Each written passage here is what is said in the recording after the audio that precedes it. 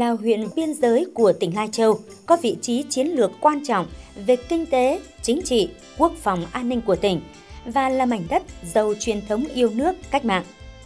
Trải qua chặng đường 70 năm xây dựng và phát triển, dưới sự lãnh đạo của Đảng Cộng sản Việt Nam, Đảng bộ, chính quyền và nhân dân các dân tộc huyện Phong Thổ luôn phát huy tinh thần đoàn kết, nỗ lực vượt qua gian khổ, gặt hái được nhiều thắng lợi to lớn trên tất cả các lĩnh vực. Phong thổ hôm nay đang vươn mình mạnh mẽ, thể hiện một dáng vóc mới, một tâm thế mới, tự tin, hòa mình cùng tương lai phát triển của tỉnh, của đất nước.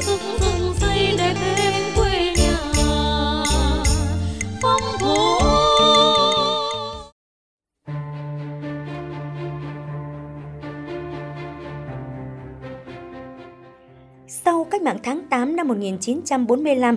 quân Nhật đã rút khỏi phong thổ. Nhưng dưới danh nghĩa quân đồng minh, quân đội tường giới thạch có mặt ở phong thổ, tước khí giới của Nhật. Trước tình hình đó, tháng 9 năm 1946, xứ ủy Bắc Kỳ quyết định thành lập Ban Cán sự Đảng tỉnh Lào Cai. Đến tháng 1 năm 1947, khu ủy khu 10 quyết định thành lập tỉnh ủy lâm thời tỉnh Lào Cai, thay cho Ban Cán sự Đảng tỉnh để nhận nhiệm vụ cách mạng nặng nề hơn trong giai đoạn mới. Để đáp ứng yêu cầu của phong trào cách mạng, ngày 24 tháng 9 năm 1950,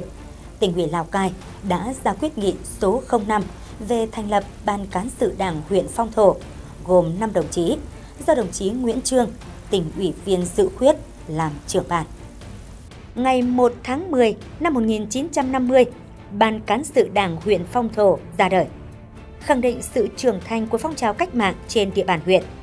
Đây là sự kiện có ý nghĩa quan trọng đối với đồng bào và nhân dân các dân tộc huyện Phong Thổ. Giai đoạn từ năm 1951 đến 1954, sau khi địch tái chiếm Phong Thổ, tỉnh ủy Lào Cai có chủ trương rút một số cán bộ đang hoạt động tại Phong Thổ về nhận công tác khác, chỉ để lại một đội công tác gồm 6 đồng chí do đồng chí Hoàng Hoa làm đội trưởng. Đội có nhiệm vụ bắt liên lạc, gây dựng lại cơ sở cũ trong vùng đồng bào Mông, Giao ở Bình Lư và Tam Đường. Tháng 10 năm 1953, khu ủy Tây Bắc quyết định mở chiến dịch Tiễu Phỉ ở miền Tây Lào Cai để truy quét tàn quân phỉ, kêu gọi những người lầm đường trở về với nhân dân. Thời điểm này, mặc dù còn gặp rất nhiều khó khăn trong bối cảnh vừa xây dựng lực lượng, vừa chiến đấu giải phóng quê hương. Nhưng nghe theo lời kêu gọi của Đảng và Bác Hồ, huyện Phong Thổ đã huy động hơn 22.000 ngày công, gần 50.000 công ngựa thổ, gần 2.500 công thuyền mạng và cử nhiều đơn vị dân quân, du kích trực tiếp tham gia cùng bộ đội đánh địch, góp phần cùng quân dân cả nước làm nên chiến thắng lịch sử Điện Biên Phủ, lừng lẫy Nam Châu, chấn động địa cầu. Ngày 29 tháng 10 năm 1954, Tránh Tổng và Lý trưởng Giào San mang cả gia đình gồm 23 người cùng vũ khí ra trình diện cách mạng. Huyện Phong Thổ hoàn toàn được giải phóng. Đây là chiến thắng của đường lối cách mạng đúng đắn của Đảng, là thắng lợi của tinh thần quả cảm, mưu trí, sáng tạo, dũng cảm của đồng bào và chiến sĩ các lực lượng vũ trang trong huyện. Đánh dấu mốc son trong lịch sử xây dựng và phát triển của huyện Phong Thổ.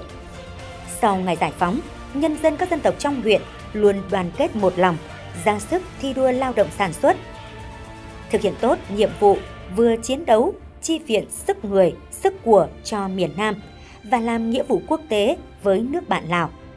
Vừa là hậu phương vững chắc góp phần cùng cả nước đánh thắng giặc Mỹ xâm lược, giải phóng hoàn toàn miền Nam, thống nhất đất nước 30 tháng 4 1975. Vừa ra khỏi cuộc chiến tranh lâu dài và ác liệt chống đế quốc Mỹ và tay sai. Ngày 17 tháng 2 năm 1979,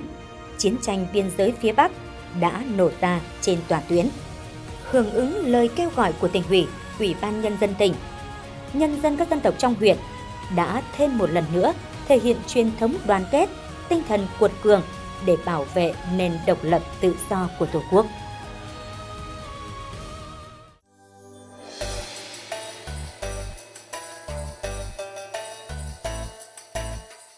Khi chiến tranh kết thúc, nhân dân các dân tộc huyện Phong Thổ tiếp tục đoàn kết, thực hiện đường lối đổi mới của Đảng, đưa sự nghiệp cách mạng của huyện bước vào thời kỳ công nghiệp hóa, hiện đại hóa. Trải qua các kỳ đại hội, Đảng bộ huyện đã lãnh đạo nhân dân các dân tộc trong huyện xóa bỏ cơ chế quản lý kinh tế, hành chính, quan liêu bao cấp. Từng bước xây dựng cơ chế quản lý kinh tế mới, phát triển văn hóa xã hội, giữ vững an ninh chính trị, trật tự an toàn xã hội, bảo vệ vững chắc chủ quyền biên giới quốc gia. Thực hiện Nghị định số 08 ngày 14 tháng 1 năm 2002 của Chính phủ, huyện Phong Thổ được chia tách và thành lập. Sau các lần thực hiện nghị định, nghị quyết về điều chỉnh địa giới của Trung ương, huyện Phong Thổ hiện nay có diện tích 102.924,5 ha, gồm 17 xã thị trấn, dân số hơn 8,4 vạn người, với 9 dân tộc anh em cùng sinh sống. Trải qua quá trình xây dựng và phát triển, huyện Phong Thổ luôn bắt nhịp với công cuộc đổi mới của đất nước, của tỉnh. Trong suốt quá trình lãnh đạo thực hiện nhiệm vụ chính trị, Đảng bộ, chính quyền huyện Phong Thổ luôn xác định phát triển kinh tế xã hội, đảm bảo an ninh quốc phòng là nhiệm vụ trọng tâm. Xây dựng Đảng là then chốt, lấy đảm bảo an sinh xã hội, nâng cao chất lượng đời sống nhân dân làm mục tiêu và động lực phát triển. Sự chỉ đạo sát sao, phù hợp của Đảng bộ chính quyền huyện cùng sự nỗ lực không ngừng của đồng bào các dân tộc đã giúp phong thổ từng bước vượt qua khó khăn, đạt được nhiều thành tựu quan trọng để thực hiện thắng lợi các cái nhiệm vụ chính trị trên địa bàn huyện thì ờ, Đảng bộ huyện cũng đã tập trung lãnh đạo chỉ đạo quán triệt đầy đủ sâu sắc các chủ trương đường lối của Đảng, chính sách pháp luật của nhà nước, nêu cao vai trò lãnh đạo toàn diện, tuyệt đối của Đảng trên tất cả các lĩnh vực của đời sống xã hội, tập trung xây dựng khối đại đoàn kết các dân tộc, thống nhất trong Đảng, tích cực, chủ động, sáng tạo trong lao động sản xuất, tập trung phát triển kinh tế xã hội cũng như đảm bảo quốc phòng an ninh trên địa bàn và mở rộng cái quan hệ đối ngoại. Đặc biệt là huyện quan tâm sâu sát đến công tác xây dựng đảng về chính trị, tư tưởng và tổ chức, xây dựng củng cố chính quyền, xây dựng hệ thống chính trị từ huyện đến cơ sở. Trọng tâm là xây dựng tổ chức cơ sở đảng trong sạch, vững mạnh, có đủ uy tín lãnh đạo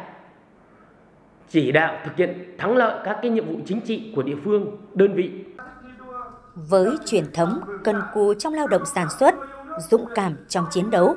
kế thừa kinh nghiệm của các thế hệ đi trước và thành tựu nhiều năm qua, Đảng bộ, chính quyền, quân và nhân dân các dân tộc huyện Phong Thổ đã tận dụng tốt các nguồn lực và lợi thế của địa phương,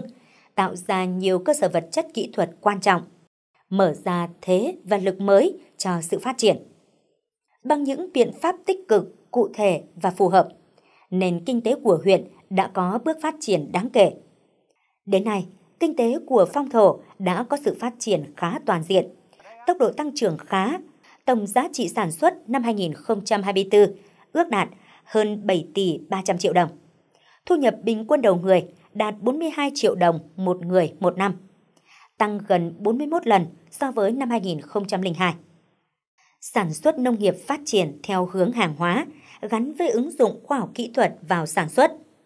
Trên địa bàn huyện đã hình thành một số vùng sản xuất tập trung, sản phẩm chủ lực, như gần 3.000 ha cây chuối, hơn 1.350 ha cây cao su, gần 750 ha chè, hơn 1.000 ha thảo quả, gạo đặc sản tẻ dâu, nếp tan, tà củ tập trung phát triển chăn nuôi đại gia súc, nhất là chăn nuôi trâu, bò, ngựa tại các xã vùng cao biên giới. Thực hiện theo cái nghị quyết đưa huyện Phong Thổ ra khỏi huyện nghèo ấy, thì huyện đã lồng ghép rất là à, nhiều các cái chính sách từ chính sách của chương trình mục tiêu quốc gia đến chính sách của à, tỉnh à, lồng ghép với lại cái chương trình của huyện để tập trung ờ, triển khai thực hiện. Thế thì trong thời gian vừa qua ấy, thì ờ, các cái ừ, ờ, mô hình liên kết phát triển sản xuất là đã phát huy cái hiệu quả. Huyện đã tập trung chỉ đạo à, à, hàng năm là đã giao kế hoạch cho các xã và tuyên truyền vận động à, đối với lại các xã để triển khai thực hiện à, lựa chọn các doanh nghiệp à, hợp tác xã có đủ năng lực để tham gia liên kết với người dân và giữ uy tín đối với người dân trong phát triển sản xuất. Từ lồng ghép các cái chương trình ờ, dự án như vậy thì cái ờ, hiệu quả về xóa đói giảm nghèo cũng đạt được rất là ờ, cao. Trong giai đoạn vừa qua thì cái tỷ lệ hộ nghèo Ờ, của huyện giảm bình quân trên 5,4% uh, ờ, vượt so với lại ờ, mục tiêu nghị quyết đại hội đề ra là trên 3% một năm. À, thế và phấn đấu là hết năm 2020 năm thì cái tỷ lệ hộ nghèo của huyện sẽ giảm về à, dưới 30% và cái thu nhập bình quân à, của người dân trên địa bàn sẽ tăng khoảng 1,5 lần so với lại năm 2020. Sản xuất công nghiệp, tiểu thủ công nghiệp có sự tăng trưởng khá, môi trường đầu tư được đảm bảo. Những năm qua, huyện ưu tiên khuyến khích thu hút đầu tư vào các ngành công nghiệp có lợi thế, tiếp tục thu hút đầu tư xây dựng các cơ sở chế biến nông lâm sản, sản xuất vật liệu xây dựng. Đến nay, giá trị sản xuất công nghiệp, tiểu thủ công nghiệp đạt 515 tỷ đồng. Cùng với đẩy mạnh phát triển nông nghiệp, công nghiệp, huyện đã xác định thương mại, dịch vụ du lịch là một lợi thế.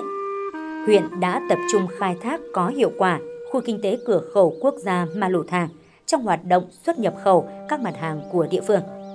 Dịch vụ du lịch có sự phát triển. Tổng lượt khách và doanh thu du lịch năm sau cao hơn năm trước. Để thúc đẩy du lịch phát triển, Ban chấp hành Đảng bộ huyện đã ban hành nghị quyết số 03 ngày 20 tháng 1 năm 2022 về phát triển du lịch huyện Phong Thổ giai đoạn 2021-2025, định hướng đến năm 2030. Đồng thời, Hội đồng Nhân dân huyện đã ban hành nghị quyết số 71 ngày 18 tháng 2 năm 2022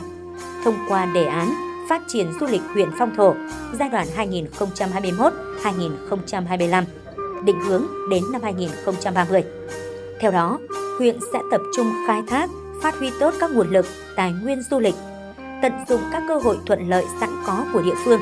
như khai thác lợi thế tại các điểm du lịch cộng đồng đã được công nhận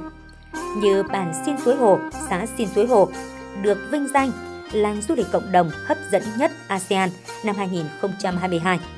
Bản Vàng Pheo, xã Mường So, thu hút đầu tư cho phát triển du lịch, từng bước đưa du lịch trở thành ngành kinh tế mũi nhọn của huyện, đồng thời góp phần bảo tồn và phát huy các bản sắc văn hóa truyền thống. Phát triển cái văn hóa dân tộc gắn với du lịch trên địa bàn thì trong thời gian qua à, giữa đảng ủy chính quyền địa phương thì cũng thể hiện một số nội dung. Là thứ nhất là cùng với bà con nhân dân bản là cái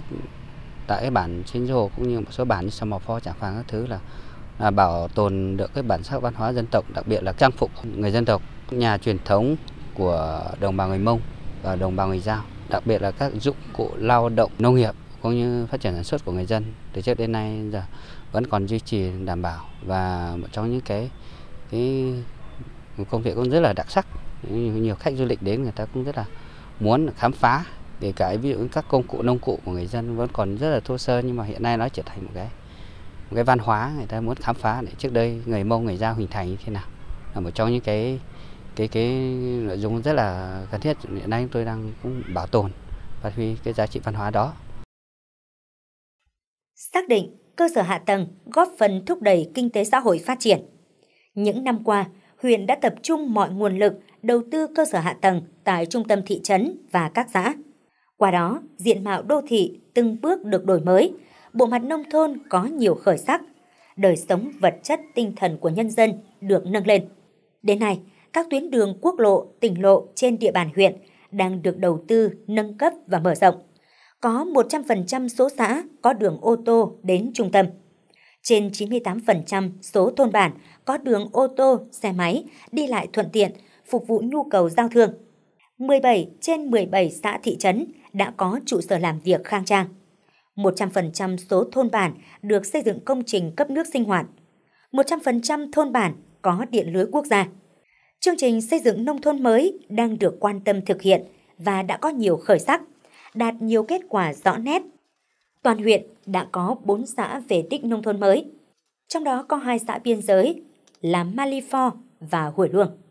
Diện mạo các bản làng vùng cao phong thổ đã có sự bứt phá mạnh mẽ trên mọi lĩnh vực. điều kiện sinh hoạt của người dân từng bước được cải thiện. Đời sống vật chất tinh thần không ngừng được nâng cao.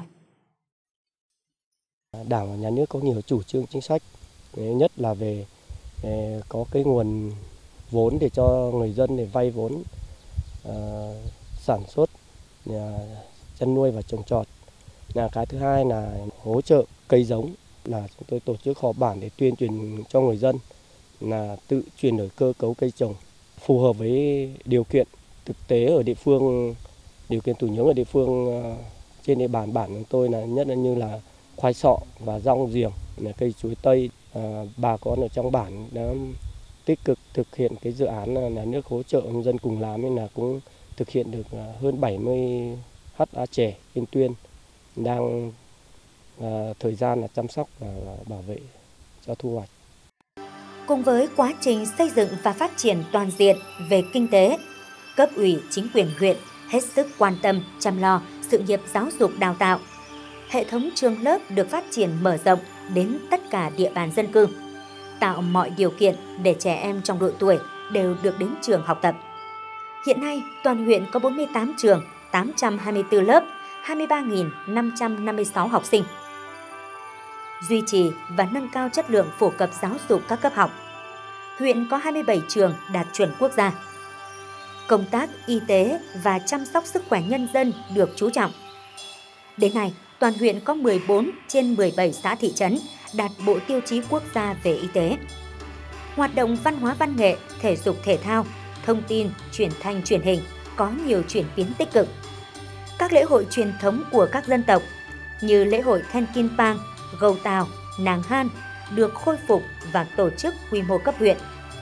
Ngoài ra, huyện đã khai trương phố đi bộ phong thổ với nhiều hoạt động văn hóa văn nghệ đặc sắc, thu hút sự quan tâm tham gia của đông đảo nhân dân và du khách. Phong trào toàn dân đoàn kết xây dựng đời sống văn hóa tiếp tục quan tâm chỉ đạo thực hiện có hiệu quả. Tỷ lệ thôn bản, khu phố đạt tiêu chuẩn văn hóa 80%. Tỷ lệ cơ quan đơn vị trường học đạt tiêu chuẩn văn hóa đạt 98,6%. Tỷ lệ hộ gia đình đạt tiêu chuẩn văn hóa đạt 81%. Bên cạnh đó, huyện đã thực hiện kịp thời hiệu quả các chính sách an sinh xã hội, giải quyết tốt chính sách đối với người có công, thực hiện tốt công tác bảo trợ, cứu trợ xã hội. Công tác xây dựng quỹ vì người nghèo, quỹ đền ơn đáp nghĩa, tặng nhà tình nghĩa và nhà đại đoàn kết được quan tâm. Góp phần trợ giúp giảm bớt khó khăn cho các đối tượng chính sách, phát huy lòng nhân ái trong cộng đồng công tác giảm nghèo được đẩy mạnh. Hàng năm, số hộ nghèo giảm bình quân 4,5%. Mỗi năm giải quyết việc làm cho từ 800 đến 1.000 lao động. Tôi, người con sinh ra và lớn lên trên mảnh đất Mường So. Ngày xưa, gia đình tôi rất khó khăn. Cơm không đủ no, quần áo không đủ mặc. Nhưng nói chung là cả bản không chỉ riêng gia đình tôi, con cái cũng không được đi học đến nơi đến chốn đến khi đất nước được giải phóng nhà nước có nhiều chính sách hỗ trợ người dân cũng là có tinh thần phấn đấu vươn lên và hiện nay đã có làm được nhà cao cửa rộng, có của ăn của để, con cái cũng được đi học, đến nơi đến chốn. Với vị trí địa lý, đặc điểm địa hình có tính chất đặc thù, những năm qua, huyện Phong Thổ đã phát huy tốt vai trò nòng cốt của lực lượng vũ trang trong xây dựng thế trận quốc phòng toàn dân gắn với thế trận an ninh nhân dân. Kết hợp chặt chẽ nhiệm vụ phát triển kinh tế xã hội với nhiệm vụ quốc phòng an ninh và củng cố hệ thống chính trị cơ sở, đặc biệt là các xã vùng cao biên giới. Quan hệ hợp tác với huyện Kim Bình, tỉnh Vân Nam Trung Quốc được duy trì, phát triển. Chính trị ổn định, quốc phòng an ninh được giữ vững, trật tự an toàn xã hội được đảm bảo. Những thành quả đạt được ngày hôm nay bắt nguồn từ tinh thần đoàn kết, sẵn sàng chiến đấu, hy sinh, nỗ lực, quyết tâm xây dựng của lớp lớp thế hệ cán bộ, đảng viên và đồng bào các dân tộc huyện Phong Thổ. Trong đó, yếu tố có tính tiên quyết là vai trò lãnh đạo của đảng bộ huyện. Từ ban cán sự đảng chỉ có 5 đảng viên khi thành lập. Đến nay, Đảng bộ huyện đã có 61 tổ chức cơ sở đảng với hơn 3.500 đảng viên. Trình độ của đội ngũ cán bộ, đảng viên được nâng lên rõ rệt cả về chuyên môn nghiệp vụ, lý luận chính trị, năng lực công tác, đáp ứng yêu cầu nhiệm vụ. Hệ thống chính trị từ huyện đến cơ sở từng bước được củng cố. Công tác phát triển đảng và nâng cao chất lượng hoạt động của các tổ chức đảng đã có nhiều chuyển biến. Việc học tập, tuyên truyền các nghị quyết chỉ thị của Trung ương, của tỉnh, của huyện, đặc biệt là tư tưởng Hồ Chí Minh luôn được Đảng bộ quan tâm lãnh đạo chỉ đạo, trở thành nhiệm vụ thường xuyên, quan trọng. Đã xuất hiện ngày càng nhiều gương điển hình tiên tiến trong các ngành, các lĩnh vực, tác động tích cực đến tư tưởng, tình cảm,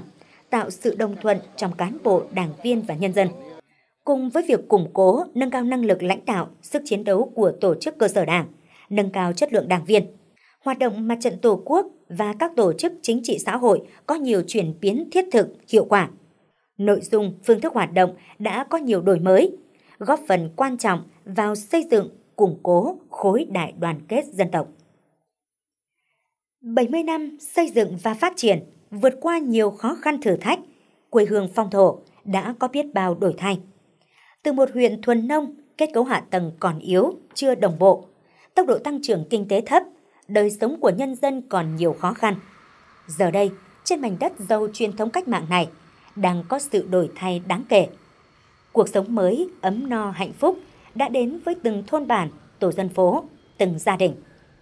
Những kết quả đạt được hôm nay là sự kết tinh của tinh thần đoàn kết, khẳng định sức mạnh tổng hợp của cả hệ thống chính trị, đặc biệt là củng cố hơn nữa niềm tin, sự đồng thuận của nhân dân đối với sự lãnh đạo của Đảng, chính quyền các cấp. Trải qua các thời kỳ cách mạng, trong đấu tranh giành độc lập dân tộc, cũng như trong hòa bình, xây dựng và bảo vệ Tổ quốc, dù có khó khăn thử thách, hy sinh, nhưng bao lớp thế hệ cán bộ, đảng viên, chiến sĩ lực lượng vũ trang và nhân dân các dân tộc huyện Phong Thổ luôn tin tưởng vào sự lãnh đạo đúng đắn của Đảng và chính quyền các cấp. Với những thành tích đạt được, Đảng bộ, chính quyền và nhân dân các dân tộc huyện Phong Thổ vinh dự được Đảng và Nhà nước phong tặng nhiều danh hiệu và phần thưởng cao quý. Như huân chương kháng chiến hạng nhất năm 1979, huân chương chiến công hạng nhì năm 1980, huân chương lao động hạng nhì năm 2004, huân chương lao động hạng nhất năm 1984. Năm 2009, cờ thi đua xuất sắc của chính phủ, bằng khen của Thủ tướng Chính phủ năm 2012, huân chương độc lập hạng 3 năm 2014. Đặc biệt, năm 2000, Đảng bộ, nhân dân các dân tộc, các lực lượng vũ trang huyện Phong Thổ vinh dự được Đảng và Nhà nước tặng danh hiệu cao quý, anh hùng lực lượng vũ trang nhân dân. Đây là niềm tự hào, nguồn cổ vũ động viên lớn lao để huyện Phong Thổ vững bước tiếp tục phấn đấu vươn lên trong giai đoạn mới. Để tiếp tục thực hiện thắng lợi nhiệm vụ chính trị Ờ, trong thời gian tới, Ban chấp hành ờ, Đảng bộ huyện đề ra một số cái giải pháp để thực hiện. Tiếp tục đổi mới nâng cao chất lượng công tác chính trị tư tưởng à, thực hiện tốt việc học tập quán triệt tuyên truyền nghị quyết của đảng đến cán bộ đảng viên và nhân dân. Tập trung chỉ đạo có sử dụng có hiệu quả các nguồn lực đầu tư của trung ương của tỉnh trên địa bàn huyện rà soát đánh giá các tiềm năng lợi thế của từng ngành từng lĩnh vực và chủ động xây dựng tổ chức thực hiện kế hoạch phát triển kinh tế xã hội giai đoạn kế hoạch hàng năm xác định các nhiệm vụ trọng tâm trong ờ, từng giai đoạn để tổ chức chỉ đạo thực hiện, thực hiện đồng bộ các mục tiêu, nhiệm vụ phát triển kinh tế gắn với phát triển văn hóa xã hội, đảm bảo tiến bộ, công bằng và an sinh xã hội, giảm nghèo bền vững và kết hợp chặt chẽ ờ, giữa kinh tế, văn hóa, xã hội với quốc phòng an ninh và đối ngoại, tăng cường công tác ờ, kiểm tra, giám sát, tập trung kiểm tra, giám sát việc chấp hành cương lĩnh, điều lệ đảng, các nghị quyết của đảng, chính sách pháp luật của nhà nước, tiếp tục đổi mới phương thức lãnh đạo, nâng cao năng lực ờ, lãnh đạo, sức chiến đấu của Đảng bộ, ờ, phát huy vai trò của mặt trận Tổ quốc và các đoàn thể chính trị xã hội, tham gia góp ý xây dựng Đảng, xây dựng chính quyền, vận động các tầng lớp nhân dân đoàn kết, chung sức, đồng lòng, tích cực tham gia các phong trào thi đua yêu nước, phong trào toàn dân đoàn kết xây dựng nông thôn mới và đô thị văn minh. Những thành quả có được ngày hôm nay càng khẳng định sức sống mãnh liệt nội lực tiềm tàng của một huyện biên giới đang trên đà chuyển mình. Trong không khí hào hùng của tháng 10 lịch sử, Đảng bộ, chính quyền, các lực lượng vũ trang và nhân dân các dân tộc trong huyện lại được tràn ngập trong niềm hân hoan, tự hào,